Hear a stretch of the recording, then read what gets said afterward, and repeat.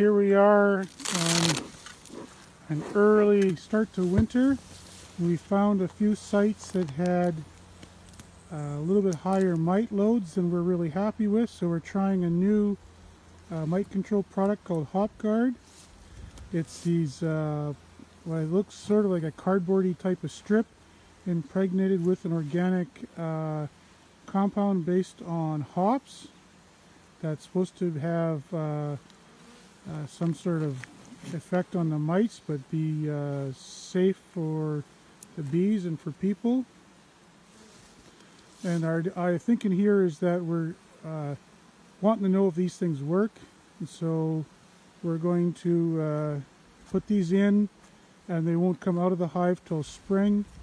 And uh, hopefully that these hives have, I'm a little concerned, there's two sites of these hives a little concerned about, but uh, we'll see. So Dave's putting these in.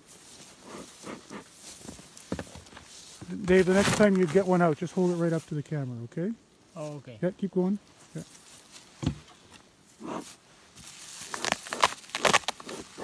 We just pu- peel that uh, inner wrap. We're trying to disrupt these as least amount possible. You can see this hive is looking a little on the small side. They just, just hold that up, Dave, before you uh, just just the, the, the product there. Oh, okay. See, so that's what it looks like. It's kind of uh, soaked in in, in uh, kind of a vinaigrette. I don't know. It was like a barbecue sauce or something. and I guess that's what's supposed to be uh, hard on the mites. Maybe they don't like barbecue.